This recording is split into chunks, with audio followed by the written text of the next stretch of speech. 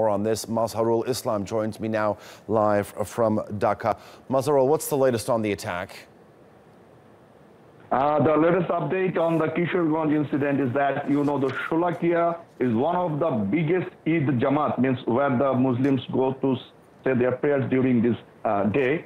Uh, this is the biggest of Bangladesh. Uh, just before the prayer started, the uh, uh, bomb incident occurred over there. While one policeman was dead on the spot and left at least nine others injured, nine others police and two others civilian injured over there.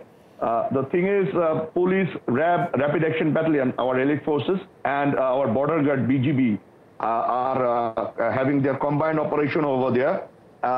to already one of the attackers have been killed on the spot during the fire exchange gun battle. Um, so far, six others police members who were critically injured have been uh, shifted to the nearest um, combined military hospital in uh, uh, the uh, uh, beside area of uh, Kishorganj. Thing right. is that uh, the hello. Yeah, Mazhar, I'm sorry, we're going to have to leave it there. Thank you.